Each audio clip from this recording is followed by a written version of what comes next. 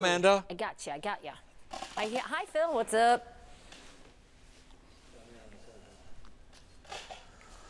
She's not in today, huh?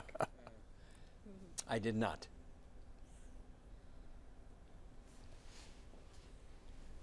Hi, Phil.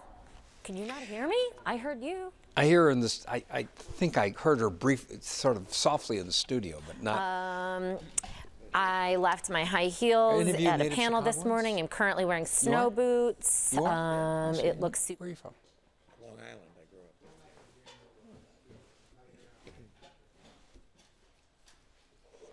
But you've been in Chicago for a while, right? 46 years. Oh, you're a native Chicagoan at that point. Do you root for? Do you root for Chicago?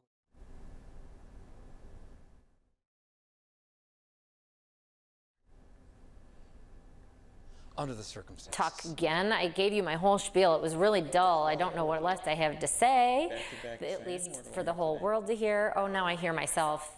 Phil, can you hear me? Phil? I can hear you, Amanda. Thank you. he can hear me.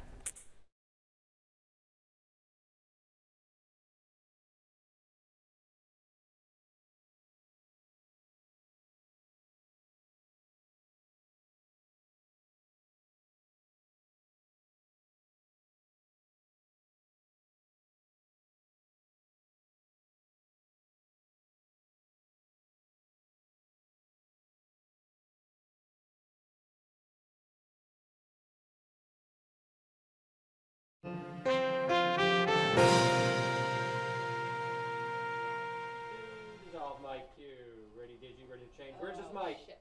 Oh, Rolling. Wednesday, November 13th. Coming up on this program. Vote on a Chicago casino, that and more from Springfield. Mayor Lori Lightfoot is making a striking claim against Uber, the latest on a proposed rideshare tax. And behind the scenes at Steppenwolf with the Ladysmith Black Mambazo. But first tonight, we start with the impeachment inquiry into President Donald Trump. Public hearings began today with the testimony and questioning of diplomats Bill Taylor and George Kent. In a new revelation, Taylor testified that he was told in July of a phone call where President Trump admitted he was more interested in investigating the Bidens than in Ukraine. A short while ago, I spoke with Illinois Congressman Mike Quigley, a Democrat who serves on the House Intelligence Committee, and I began by asking him about Taylor's testimony today. I think it's just one more step in the evidentiary process. Uh, I, I think when you uh, read the transcript from the White House, you, you can glean that. Uh, I don't think there's anything that's contradicted the fact that the president's interest in Ukraine was singularly about himself altering uh, years of regular U.S. policy or for political gain. Even though it may be just another step, Republicans are saying that uh, it amounts to hearsay since uh, one diplomat is reporting what somebody else told him about what he heard. Is it hearsay? Well, first of all, the hypocrisy reigns. Uh, they're worried about the evidence, yet they're blocking. We haven't been able to get a single document from any agency, including the White House. And they have blocked over a dozen witnesses from testifying, uh, including Mick Mulvaney and Mr. Bolton, people with extraordinary access to information. And their attacks on hearsay indicate that they really don't understand the law. Uh, ev- hearsay evidence is extraordinarily admissible under 23 exceptions under federal law, clearly under instances like this. Uh, the bigger picture there, they're worried about process because they don't know, they don't want to talk about what the president did. They don't want to talk about the president's misdeeds. They want to talk about, as they have the entire process, about anything but those acts. Congressman, Republicans today referenced several occasions where Ukrainian President Zelensky uh, is said to have said that he felt no pressure from the White House. Does this uh, take some of the air out of the accusation that there was a quid pro quo? I think it's clear from the testimony that the American public can read and will soon see on TV is that the last thing Ukraine want to do is get involved in our political mess. Uh, and it's obvious that when the President of the United States, uh, the Commander in Chief, says something, they're very wary of it. So I, I think they're also very concerned about alienating the President, the same President that held their military aid. I wouldn't want to bother him. I wouldn't want to offend him either. So I think they're being very cautious. Another thing one of the Republicans uh, asserted today was that because uh, aid ultimately did flow to Ukraine, that there was no quid pro quo. Yeah, first, there doesn't have to be a quid pro quo for there to be a crime. Uh, the president extorted uh, another government as most vulnerable state. Uh, second, the only reason that aid was released is because the whistleblower's complaint made it public. Congress found out about it, and the president heard from uh, many congressional leaders. So if it had been kept secret, uh, they wouldn't have known about it till the first uh, aid dollar didn't come through after September. Republicans have also issued a list of the witnesses they want to see, including Hunter Biden. Uh, is there any way that would happen? I think that uh, three of their witnesses have been approved for next week because they're relevant. Uh, but I reminded them today that uh, this is the nation's capital. It's not Area 51. if you want to talk about crazy debunk conspiracy theories, uh, you can go there. But it has no business in the nation's capital, as serious as this matter is. So uh, why not? Uh, why do Democrats uh, say that Hunter Biden is not uh, is not an appropriate witness? Well, look, uh, many told uh, Rudy Giuliani that the person who had made these allegations was not a credible witness. The investigation, as far as it went, found absolutely no credible evidence that there was any wrongdoing. So I guess they're grasping at straws to find something that has been disproven so far, and that is a strategy all along. Oh yeah, well, what about you? Uh, it doesn't belie the fact that the president of the United States uh, committed an, an, atrocious crime here uh, with a with an ally at war with Russia, threatening to withhold aid, which keeps them safe, which keeps the Russians at bay. The mere fact that that news could have gotten out sooner uh, would have made it much easier for the Russians to act on. So basically, what happened is we put their national security and our national security at risk, again, for the president's gain. Congressman Quigley, thank you so much for joining us. We very much appreciate it. Thank you. Anytime. And now to analysis of today's public impeachment inquiry hearings from three local legal minds, and they are Renato Mariotti, a former federal prosecutor and partner at the law firm Thompson Coburn. Martin Redish, a professor of law and public policy at Northwestern University, and former Cook County Republican Party General Counsel Christine Svenson of Svenson Law Offices. Welcome all to Chicago tonight. Martin Redish, for those who may not be following the impeachment proceedings closely, just give us a statement of the case. What's at issue? The basic question is Did the President of the United States sacrifice the national interest to pursue his own personal interest? As a result, did he, in effect, violate the public trust and his, his oath to support the Constitution and protect the nation. Renato Mariotti, as Democrats go uh, forward with this process, this inquiry that could lead to impeachment, uh, what's your take on, uh, on, on how they're doing it? Is it fair? I think it's in accordance with how impeachment has been done in the past. Uh, I think today the Republicans got plenty of time to make the arguments that they wanted to make. If anything, I think they had trouble filling up the time.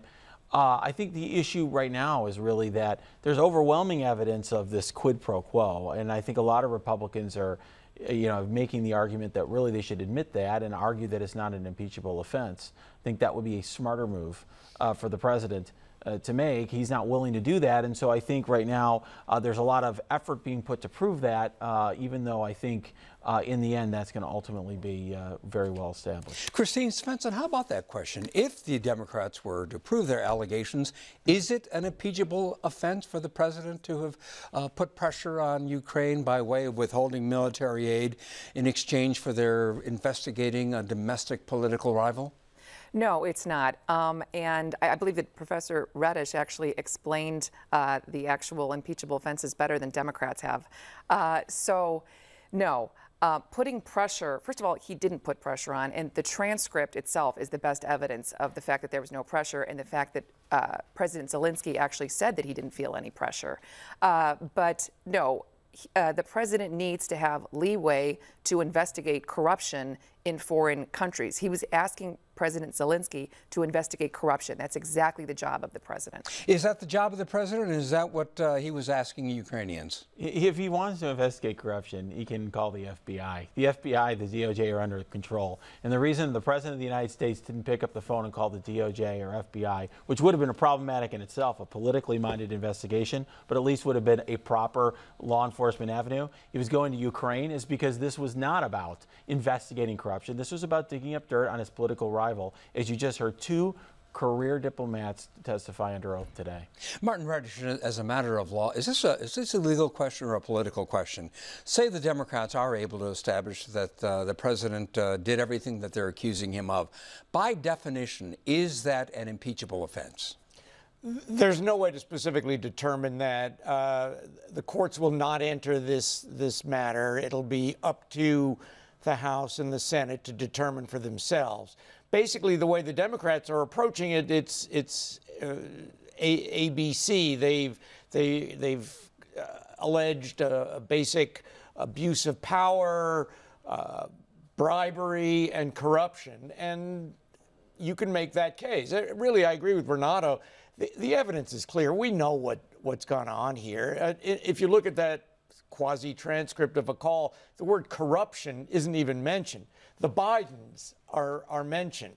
CrowdStrike is mentioned.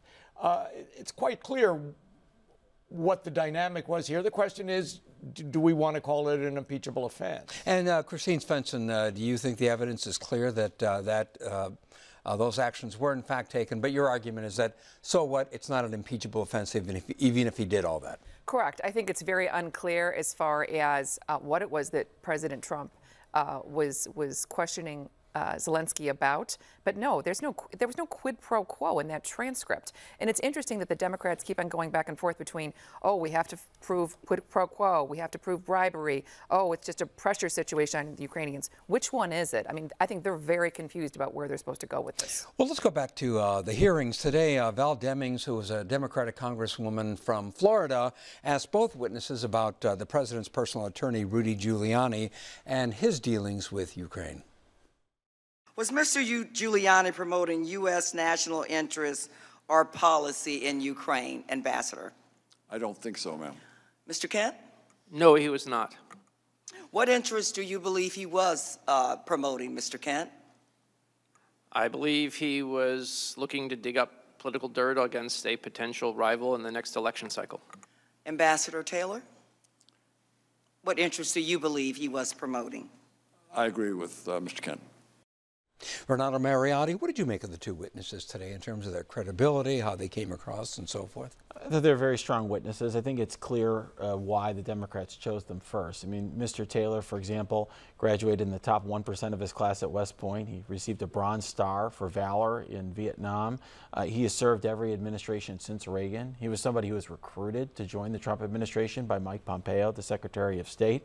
Uh, he is not a partisan, and at times uh, he would uh, say things that were positive about the administration. For example, that Obama didn't, President Obama did not approve certain uh, military aid to Ukraine that, that President Trump did. Uh, he, he came off to me like somebody who didn't have an axe to grind, but was uh, telling it straight. And I think we're going to hear a lot more witnesses like him in the. In the Christine Svenson, your reaction to the two witnesses? So I believe that the witnesses were trying to do the right thing, uh, but I found their testimony to be very weak. Essentially, all that they really said, especially Taylor, was that his aide overheard Sondland talking to the president the day after the, the Zelensky phone call, and then Sondland's alleged impression of that phone call that this aide overheard that he then told to Taylor. That's triple hearsay. That's inadmissible. That means nothing. Martin Redish, uh, Republicans have, uh, in addition to Christine Svenson, have been saying that. Uh, is that hearsay? Is that uh, weak evidence? My entire evidence course was, in law school was examining all the exceptions to hearsay. I think there are about 850. Uh, but it's really not the point here. Congress isn't controlled by the federal rules of evidence. Uh, the barrier to hearsay is in some ways archaic.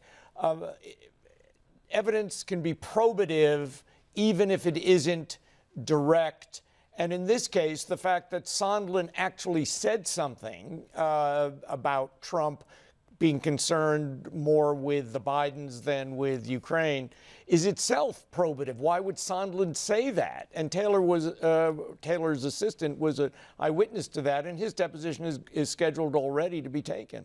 Uh, let's talk about uh, let's talk about uh, another point that Republicans are making, uh, Renato Mariotti, and that is that Hunter Biden and Burisma Holdings should be on the table along with these other issues, should they? Well, they're not relevant to the issues here. I mean, in other words, Hunter Biden's not under investigation. Donald Trump is under investigation here. Uh, and the, the issue is really what did Donald Trump do? Why did he do it? What was his intent?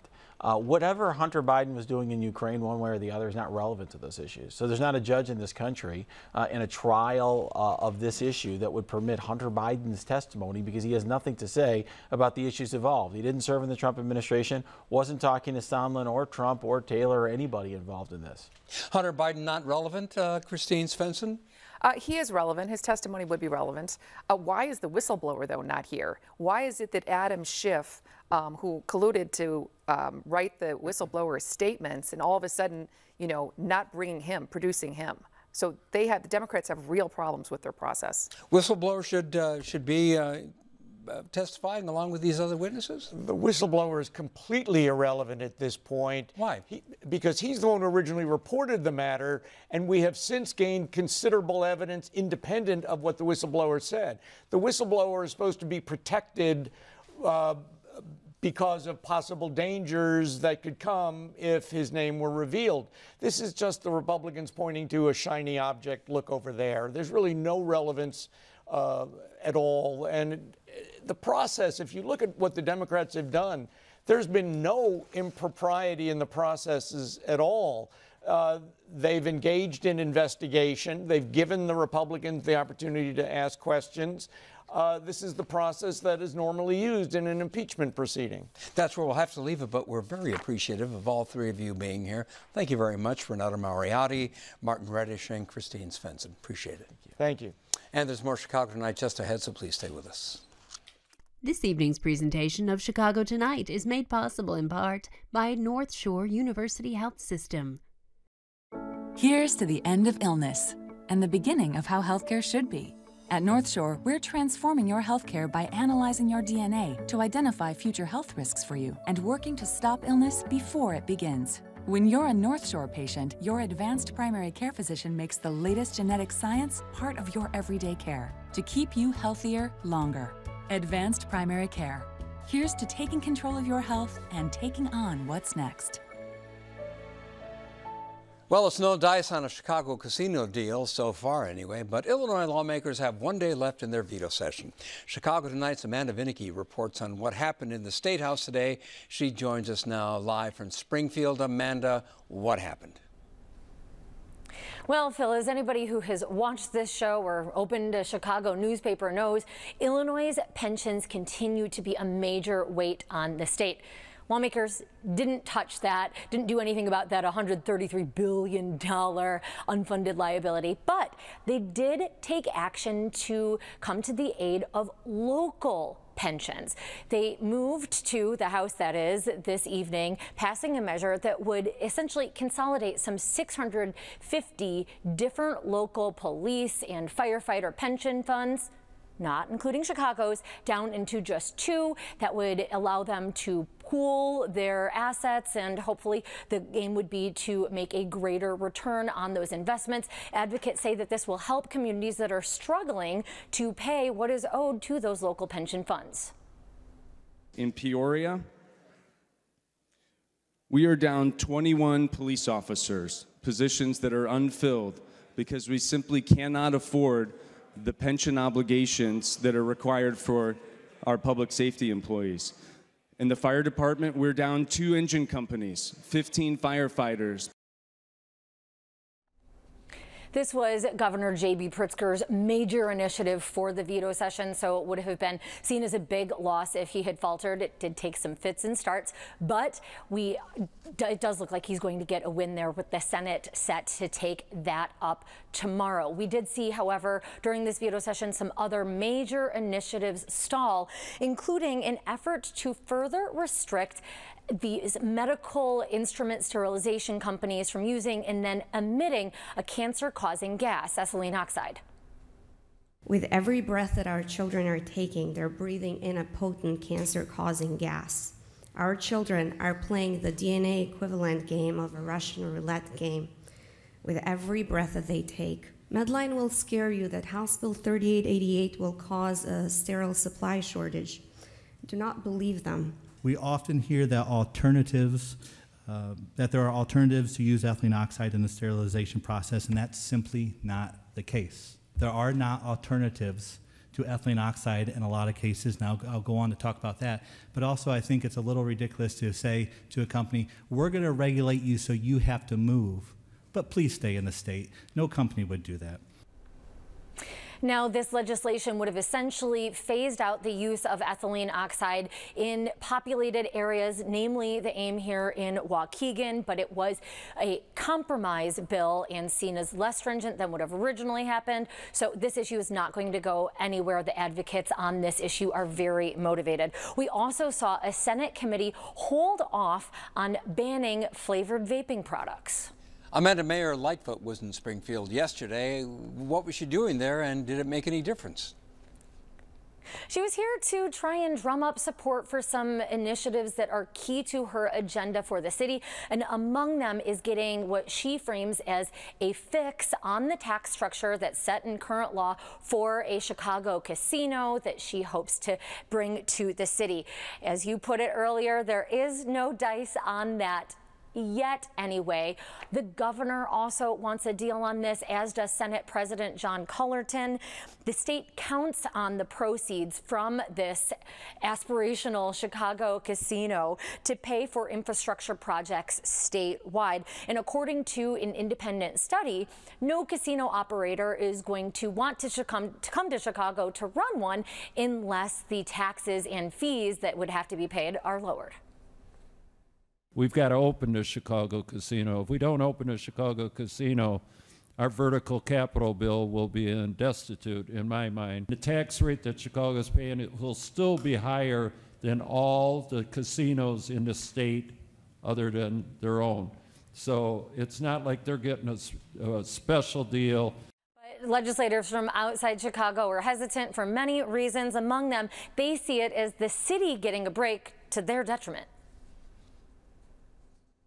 How do we tell all these other communities that are, that are gaming in economically depressed areas that are struggling that Chicago is going to get a better deal with paying the state than everyone else? And then how do we tell others that the capital plan is going to receive $140 million a year less in revenue, which means a lot of capital projects throughout the state are not going to get done now Negoti negotiations on that continued all day. This evening, in fact, the Senate was set to take up a framework for this casino deal, but then held off because the city is apparently in, quote, active negotiations. So the mayor not folding her cards yet earlier today saying that the deal is not yet dead. There is, Phil, one day left of the veto session tomorrow to make it happen. A big push, but technically possible. Back to you.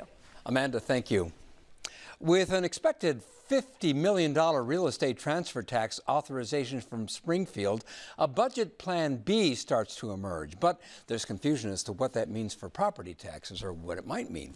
Paris Schutz has the latest on that and other news from a city council meeting today, including the mayor's bombshell claim about rideshare companies. Paris, tell to us that, that bombshell claim, Phil, the mayor alleged today that rideshare giant Uber had offered to pay off black ministers to the tune of $54 million if they would join a campaign to publicly oppose the mayor's proposed $40 million rideshare tax. Uber says that is not true, and Lightfoot says ministers told her of this alleged plan. They offered up black ministers $54 million, a one time deal, if they would convince the mayor um, to uh, do away with any other kind of regulation. And as we walked these ministers through the realities of what's actually um, at stake here, I think they realized that, frankly, they'd been hoodwinked. Indeed, there were some African American ministers that publicly oppose the tax, saying it would hurt minority communities that don't have good access to public transit or taxi service. Uber, in fact, coordinated a minister to appear here on this show to make that case. A minister we spoke with said no money ever changed hands from Uber or Lyft. Uber itself did not answer whether any money changed hands here, but said the $54 million was flat out wrong. Quote, the mayor is entitled to her own opinion, but not her own facts. Weeks ago, we shared a proposal that would have raised $54 million for the city. She is confusing this figure. Now, the mayor's plan proposes raising the rideshare fee by 53 cents for all shared rides, so Uber Pool to and from the loop, and by 228 for solo rides. Elsewhere in the city, solo rides would go up 53 percent. Uber has proposed its own counteroffer. It would divide the city into three zones here, a high and a medium and a low taxing zone, and their taxes would go up from 25 to 42 cents for shared riders and from 30 to 85 cents for solo riders. They say this plan is more equitable and will raise more money. Now, earlier in the day, we spoke with Alderman Jason Ervin, the chair of the Black Caucus, and he told us he wanted Lightfoot to consider the Uber proposal. There was some expansion uh, talked about in the rideshare uh, with, that I looked at that would actually provide some relief to residents that live on the south and west side, and I begin I continue to push that uh, with the administration. I know we're trying to deal with the congestion uh, somewhat on the north and in parts of the north lakefront and a little bit of the north side of Chicago. I think all of those options need to be put on the table before we go back to the taxpayers for a property tax increase. Paris, you heard Amanda report earlier that the real estate transfer tax increase is dead. So, how is the city planning to make up that shortfall? Right. It looks like no casino, no real estate transfer tax that the mayor wanted Springfield to authorize for the city. That was going to be $50 million she was relying on. She says it's just going to have to come from cuts and hiring freezes. Meanwhile, one of her toughest critics says her numbers don't add up, including an anticipated $163 million in federal aid reimbursement she expects for ambulance services. A lot of ifs, ands, and maybes in this budget, including the biggest maybe of all, whether or not Donald Trump's going to give us $163 million for ambulance reimbursement. And if we don't get it, that means we're going to be back here telling our property taxpayers we need 163 million plus 65 million for a 200 plus million dollar property tax increase. Never was this budget balanced, and it's still not balanced. It's only put together by whiteout and scratch marks to make it look balanced on paper. Lopez also accuses the mayor of raising property taxes more than she had promised. Lightfoot said, no, that's not true. Any additional property tax hike that comes down the pike was already voted on before she took over. Ray Lopez apparently forgot that he voted for a property tax increase earlier this year that was proposed by former Mayor Emanuel, um, and so he got it 100% wrong. So there's nothing new regarding property taxes.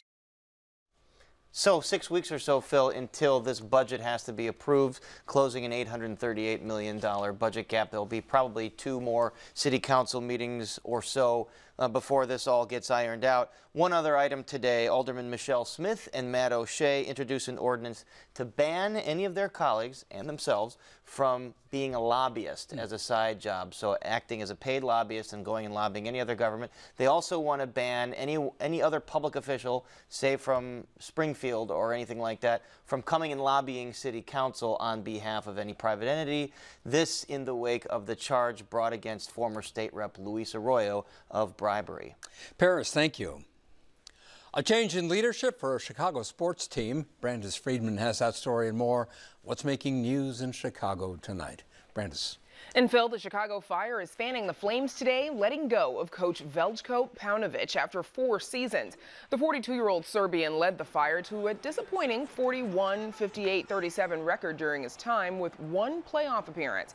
The Major League Soccer team announced the change today, along with letting go of two assistant coaches, the goalkeeper coach, and others. This all comes just after owner Joe Mansueto purchased full control of the team ahead of the move to Soldier Field next season.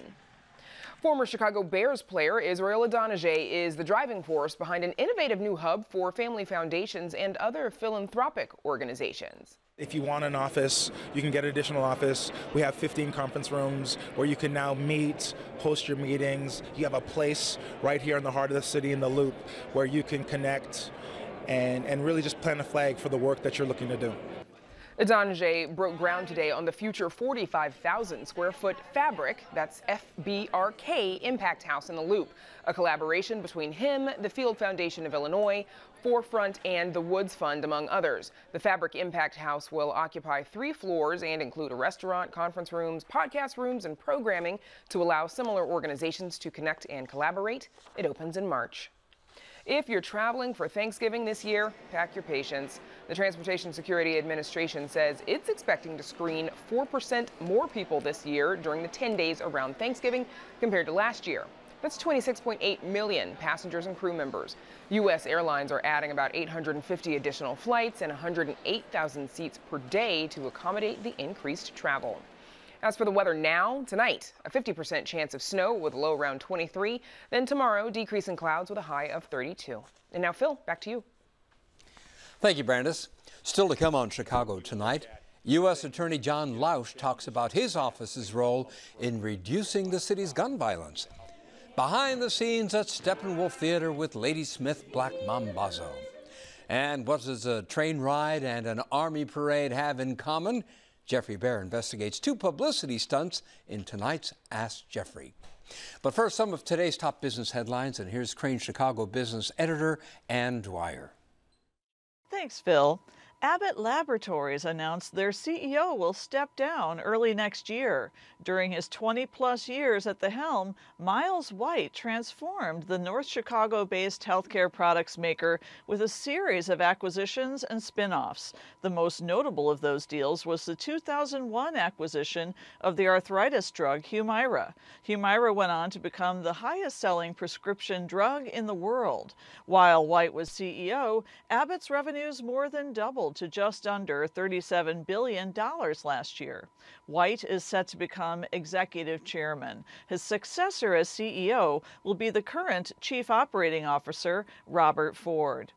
Meanwhile, McDonald's is grappling with an unexpected problem in its transition to electronic ordering kiosks. The digital self ordering kiosks are a huge part of the fast food giant's growth plans, but Bloomberg reports a recent test shows the kiosks may need to be replaced or retrofitted to accommodate cash transactions.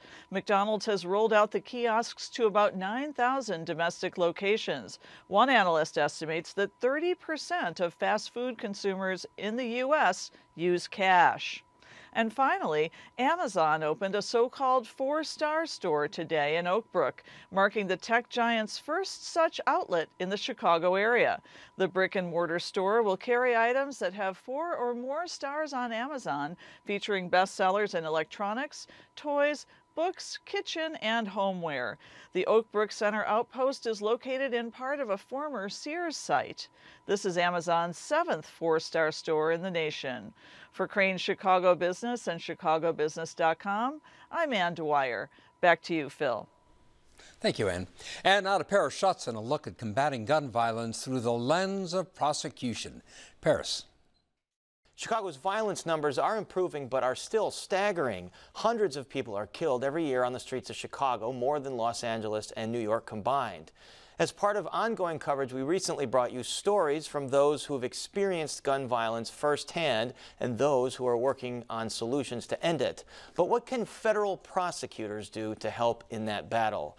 Joining us now for a one-on-one -on -one is John Lausch Jr., the United States Attorney for the Northern District of Illinois. U.S. Attorney Lausch, thank you so much for being here. Thank you for having me. First of all, your office reports that federal gun arrests are up this year nearly 50%. Is that having an impact on the homicide rate, do you believe? Uh, I, would, I would like to hope that it is. I mean, our focus in doing that is really a response to what we're seeing on the streets. We're seeing um, individuals possessing, using, and transferring firearms um, you know, in a, in a way that um, is, is leading to a lot of the violence. And so we focused on more individual gun prosecutions than we had in the past. And, and so why it was up 50% from the year prior. So is it just uh, just a renewed focus from your office on it? It's a renewed focus on it. Um, we also we set up um, what we call gun prosecution teams, and we did that with, with some additional resources we received from the Justice Department, and we've essentially embedded certain assistant U.S. attorneys in certain police districts of the city to work directly with the police commanders and their team, an ATF agent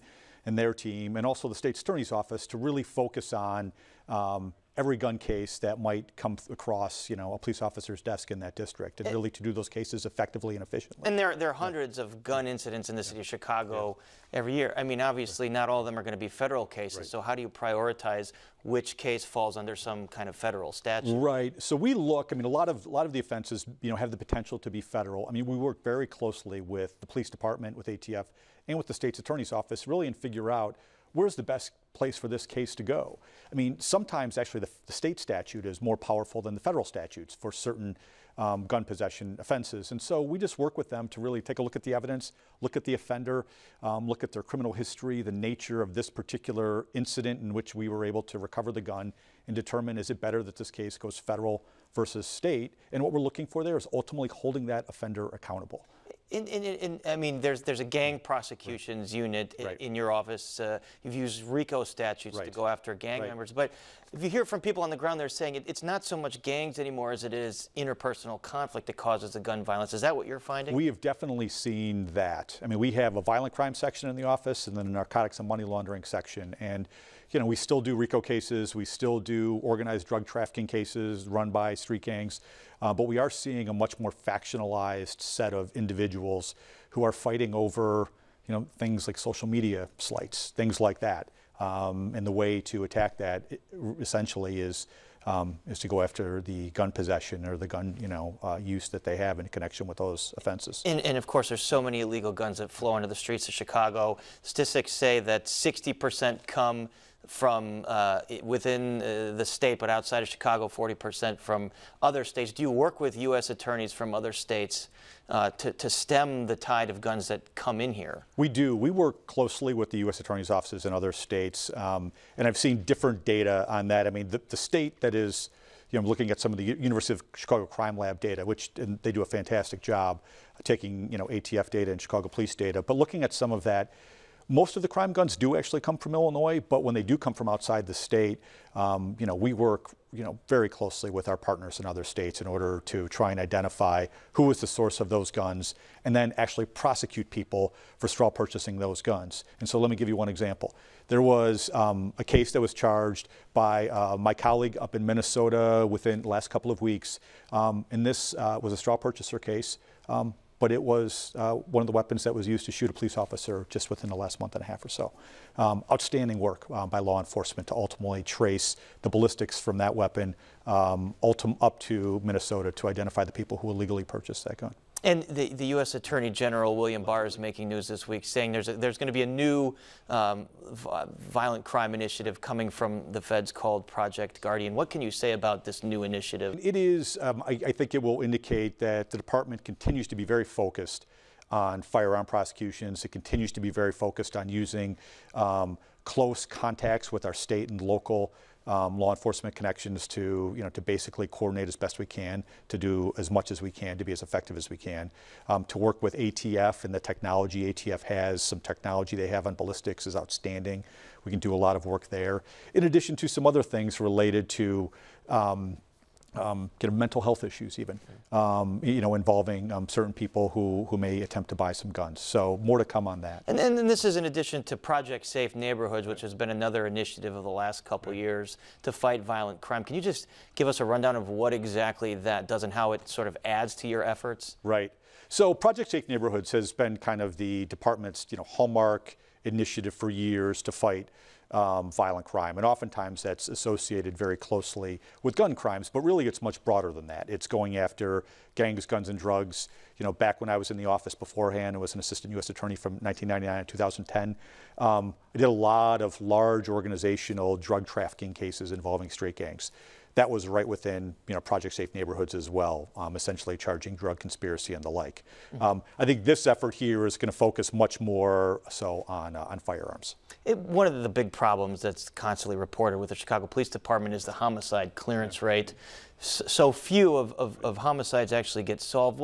What, what do the federal partners do to help that effort. Right. So one of the things we're doing, I mean, is more gun prosecutions. We think that that um, can very specifically help us in some of those cases. If we, um, you know, working with uh, the detective um, folks at the Chicago Police Department and also the federal agencies. Um, the FBI in particular does an outstanding job working with the detective division and ATF as well with the detective division in order to identify groups of individuals who may be, you know, working together to commit violent acts and to string together murders and retaliatory murders and shootings and the like. And so we're, we're heavily involved in that. There was a case that we charged um, earlier this year, late last year, against a gang in Englewood where we charged multiple murders and four individuals. And that really was the efforts of kind of using all of our resources to try and clear some of those cases. You know, Mayor Lightfoot has, has been complaining that at least, you know, on the state level, uh, some violent offenders have been let out of prison too early. They're being let out on, um, on, on on bails that are, are, are, are, pretty easy for them to pay. Are you seeing that too, that, that charged offenders are, are, are being let out too easily? No, so it's one of the things that we focus on. I mean, we have time federally under the federal bail system. I mean, if someone is picked up on a drug trafficking or a weapons offense, um, we are typically, you know, kind of viewing that as, as someone who is a risk to public safety. And so we oftentimes are asking for that person to be detained pretrial. Sometimes we're not, but we, we kind of work with law enforcement and then ultimately ask for a little bit of time with our judges in order to, um, you know, be able to make the best case we can for detention, which would be really only for two reasons. One, if someone is a serious risk of flight, or two, if they are a danger to another person or the community. Um, and we would need to make a showing of that, and the defense would have the ability to argue there's conditions to mitigate that. Um, so we do that all the time, um, and you know that's that's really our focus when we're trying to you know hold people accountable and kind of stop the cycle of retaliation and violence. And you know you've had a close relationship with Superintendent Johnson over the last couple years. Do you know anything about his interim replacement, Charlie Beck from LA? Do you expect the same kind of cooperation? I, I do. I think um, I, I, actually um, chatted with him very briefly on Friday. Um, I'm looking forward to working with him. Gave him my phone number, said he can call 24/7, just like Superintendent Johnson could. I mean, we are fully engaged in this, you know, battle to try and keep people in Chicago safe. So I look forward to working with on him. Another, uh, on another front, yeah. your office has been very busy uh, on public corruption cases. Um, the indictment, 14 count indictment of Alderman Ed Burke, most recently a charge uh, against former State Rep Luis Arroyo. You, unlike your predecessors, have have refrained from giving press conferences or, or public comments about these cases. Why is that? Um, I, I, mean, look, I think the you know the the facts of the cases, you know, when we charge them, they they speak for themselves, and so. Um, you know that's that's essentially why at, at, this point you know our people are very busy working in this space. Is is is there a, is there a renewed focus on public corruption cases like there is on violence under your tenure? I, I think there's always been a focus on public corruption cases and violent crime cases under my tenure and under Zach Fardon's and, and Pat Fitzgerald and Scott Lassar, you know, back who initially hired me into the office. And so I don't know, what I would call it a renewed focus, um, but it's, um, like I said, we are we're, we're busy. In, in at the you know these cases, what they have in common is uh, allegations that public officials are using their public perch for some kind of private benefit. Is that at the heart of corruption that you want to root out? Yeah, I mean, people want a fair shake, right? I mean, people in, in Chicago, I mean, they, you know, they, they want um, to see things done in a fair and open and transparent way. And so, you know, when we do have situations, and I'm not talking about any specific case, but when we do have situations where people are using their public office for their private gain, that's something that we're going to take a close look at with our law enforcement partners. I want to ask you about a case that's connected to some national headlines. In 2014, your office, obviously you weren't there this time, charged a Ukrainian national named Dmytro Firtash for bribery um, and also alleged that he is connected to Russian organized crime. Now it's reported he's connected to some of the business associates with Rudy Giuliani, digging up dirt in Ukraine. He's been fighting extradition to your office uh, since then. Do you expect that Firtash will be extradited to the United States? We hope that he will. Um, you know, other than that, I'm not going to comment any further on a pending case. Do, do, you know why it's taken so long? I can't speak to that. But you, you do you, you, you have a feeling that he will be extra. You're hoping that we're, we're you know the we are seeking extradition and we're hoping to you know to bring our case here in court. All right. U.S. Attorney John Lausch, thank you so much. Right, thank you. And you can catch the new WTTW digital series Firsthand Gun Violence on WTTW.com slash firsthand. There you can also find talks with community and political leaders, stories from the guns-focused news outlet The Trace, and a discussion guide and more. And we're back with more Chicago Tonight right after this. This evening's presentation of Chicago Tonight is made possible in part by ComEd powering lives. We have a tremendous source of untapped, efficient energy right here in our school. Let her rip, Jenny. I kind of love this idea. The ComEd Energy Efficiency Program has real ideas for making schools energy efficient. From the Chicago Blues Club to South Africa, a new show at Steppenwolf Theater Company explores music and love across cultures. Ladysmith Black Mambazo formed in the early 1960s, and they added their acclaimed harmonies to Paul Simon's Graceland album in 1986. They started to collaborate with Steppenwolf in 1992 with the Song of Jacob Zulu, which went to Broadway. Now they're back in town for their third show at Steppenwolf, and we visited them in rehearsal and spoke with some of the creative team. I'm a singer. There's energy in the rehearsal room as the nine members of Ladysmith Black Mambazo perform with an actress and singer who knows them well.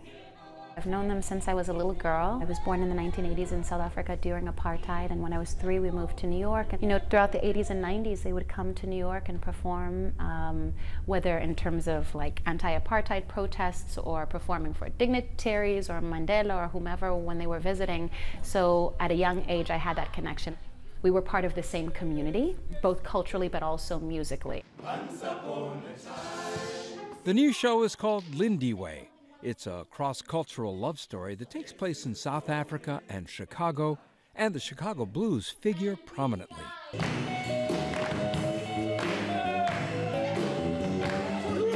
We love the music. Music uh, has that thing that connects everybody. You know, it, it doesn't matter what kind of music. It doesn't matter if you understand the language, you understand the music. But as long as it's uh, good music, it gets in your veins. Ladysmith Black Mambazo was founded by Joseph Shabalala, who's now retired. Family members continue the legacy he began nearly 60 years ago. We started to sing at a very early age, and our father used to teach us singing very early and put us on stage, eh, sing at the church, at the weddings, in many different occasions. So we used to it. Lindy Lindiwe features new music from the group. A Steppenwolf ensemble member recalls their first collaboration in 1992. We invited them here to Chicago to do a workshop. It Became kind of this magical, you know, moment. We realized that they're an ensemble, we're an ensemble. It it uh, didn't seem like uh, uh, somebody would say these two groups belong together, but we kind of like clicked. The show has been in development for six years. It was an important project to Martha Lavey, the late artistic director at Steppenwolf.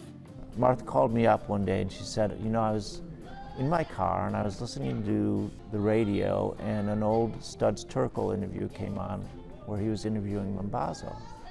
And it reminded me of their work with us, and what do you think about calling them up and see if they would like to do another play?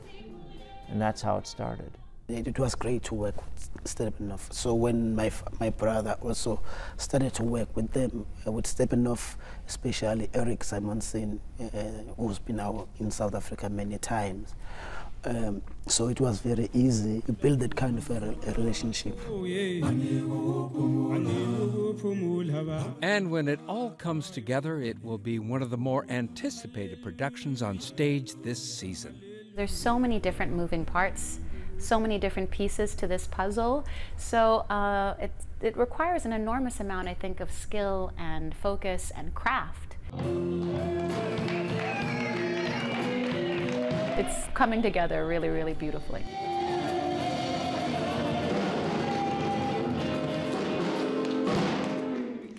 Lindiwe just opened at Steppenwolf Theater. It runs through January 5th, and there's more on our website. Up next, an encore presentation of Ask Geoffrey with Brandis Friedman, so stay with us. Don't ever miss Chicago Tonight. Subscribe to our podcast. Get a daily download of our show delivered to your desktop or mobile device. Go to WTTW.com slash Chicago Tonight podcast and subscribe. What do a 1917 march down Michigan Avenue and a 1934 record breaking train run have in common? publicity. Geoffrey Baer is here with stories of two Chicago publicity stunts, because hey, they don't call it the Windy City for nothing. Am I right, Geoffrey? that is absolutely why it's called the Windy you. City. Good to see you too. So, our first question, it comes from Diana Springfield in Springfield. She writes I found an old stereoscopic postcard in a yard sale showing a huge parade on Michigan Avenue in 1917. What can you tell me about the event? So Diana sent us a cell phone picture of the postcard, so not great quality, but it really caught our attention. So we went to the Library of Congress and we found a really good quality copy of it. There's the photo. Uh, it's captioned "Thousands marching, thousands watching our National Army, Chicago, August 4th, 1917." Okay, so that's about a year too early to be a World War I victory parade. What was it for? Good knowledge of history there. Thank you. It was essentially a, a big propaganda stunt that was cooked up to um, uh, promote the new idea of drafting men into the army, which was a new thing then. Um, the United States had declared war on Germany a few months earlier, and there were only about 121,000 men in the uh, army. At that time, it was called the regular, quote, the regular army.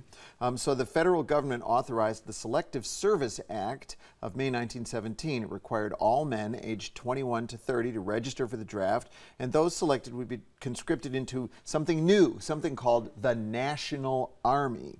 And um, so this was a real about face for a country that had um, until that point maintained a neutral position in this growing conflict overseas. President Wilson quickly authorized a campaign to gin up support for the draft and the war. Um, it was led by something called the Committee on Public Information, or CPI, Sure. information. Uh, and the CPI flooded newsrooms with stories, many of which the newspapers printed verbatim. Um, they sent, it, sent uh, also sent around 75,000 speakers called the Four Minute Men. Uh, they went all over the country and gave these four-minute short speeches promoting Wilson's war plans. No Twitter back then. Uh, and they produced propaganda films and created stirring posters, including this one, uh, the famous Uncle Sam Wants You. So then, was this parade a CPI event? Uh, not directly. It may have had something to do with CPI, um, but it appears to have been a homegrown affair um, inspired by an editorial that was printed in the. Um, in the Chicago Tribune. Um, after the editorial ran, a, a local committee was formed. Um, the Trib then ran ads for, from the committee and uh, articles inviting men who had been drafted uh, into the army. Uh, they were invited to march in this huge parade so the city could give them a proper send off for their military training. And just weeks after the editorial ran in the paper, 13,477 soon to be soldiers. Uh, in civilian clothes, marched up Michigan Avenue behind officers in training from Fort Sheridan. Uh, now, 35 uh, of those men whose draft number had come up first. They were called the, the 258 men because their draft number was 258. So their number had come up first, these 35 men, and they were given the honor of leading the enlistees in this parade, and they were loudly cheered by the throngs along the street, all this according to the Tribune. Um, uh, the reviewing stand was in front of the Art Institute, where recruited, uh, where, where um, U.S. Army Major General Thomas H. Barry observed the recruits. Uh, Lieutenant John Philip Sousa, the March King himself, directed the Great Lakes Naval Training Band. Um, and immediately following the parade, Barry wrote, quote, no other city in the United States or in the world ever witnessed a finer sight than the parade composed solely of young American manhood uh, without a slacker in the bunch. Woe betide those whom they go up against on the other side. Interesting, Geoffrey. Thank you. Okay, our next one comes from Karen Knapp of Woodstock. She writes Many years ago, my grandmother gave me a framed document because she thought I might be able to use the frame. The document is the log of the Burlington Denver Zephyr World Record nonstop run on October 23, 1936. It says that John T. Pirie was a passenger and that he is therefore a member of the Dawn to Dusk Club. What can you tell me about it? Don't you love this? Here, maybe you just like the frame, right? And then, but do you look at historical it? There's document something inside. in. Yeah, I mean, I, we we just love these. So our viewer sent us a photo of the certificate. So let's start out by taking a look at that. Um, so at first, I assumed that this was the super sleek train that many of us have seen at the Museum of Science and Industry, the Burlington Pioneer Zephyr, which in fact made a record breaking run from Denver to Chicago. But that was in 1934. Um, it is the same streamlined design, but it's actually a different train. This is the Denver Zephyr, and this run was two years later in 1936. So, okay, let's back up a bit. Um, the legendary streamliner I referred to, the one that's at the Museum of Science and Industry, um, set its record breaking dawn to dusk run on May 16, 1934. Um, and that, as we said in the beginning, was a publicity stunt by the Burlington, uh, Chicago, Burlington, and Quincy Railroad to demonstrate a revolutionary new kind of lightweight, high speed train powered by a diesel engine instead of by steam. Railroads were desperate for new, efficient technology that would cut costs as ridership was slumping during the Great Depression. Okay, so Burlington, Burlington President um, Ralph Budd wanted this to be literally the last word in trains, so he scouted around for a name that started with Z, uh, he found inspiration in the name of the god of the west wind, Zephyrus. Look at it go, man, look at that.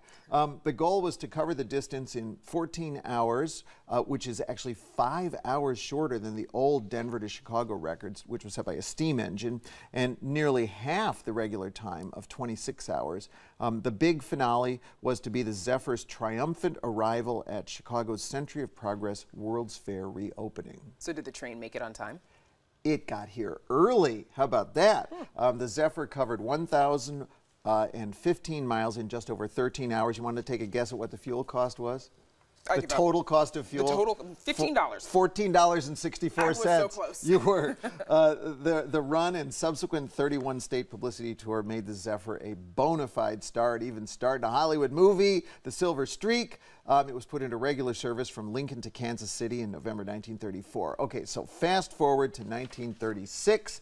Um, two new 12 car Zephyrs, same streamlined design, but much larger, much more powerful, were built for regular uh, runs between Denver and Chicago. And so Budd kicked off the service with another publicity stunt. He wanted to break the record of the first Zephyr.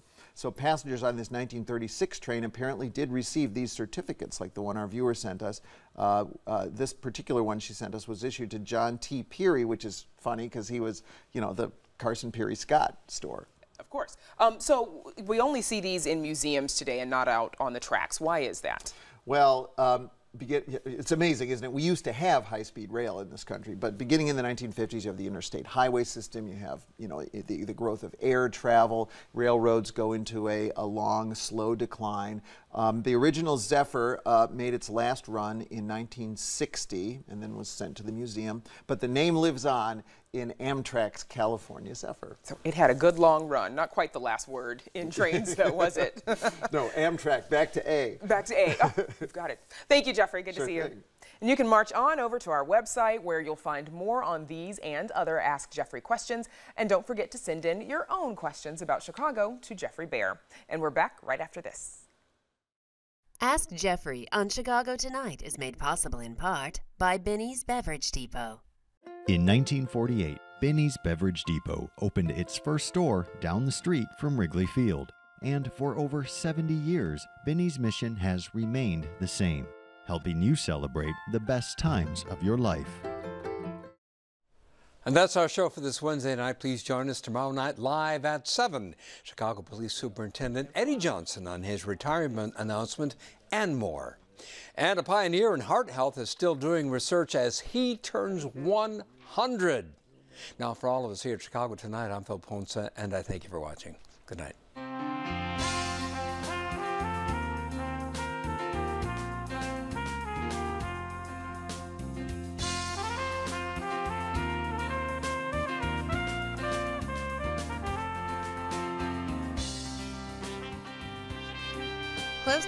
For this program is brought to you by Robert A. Clifford and Clifford Law Offices, dedicated to preserving the dignity and rights of all individuals.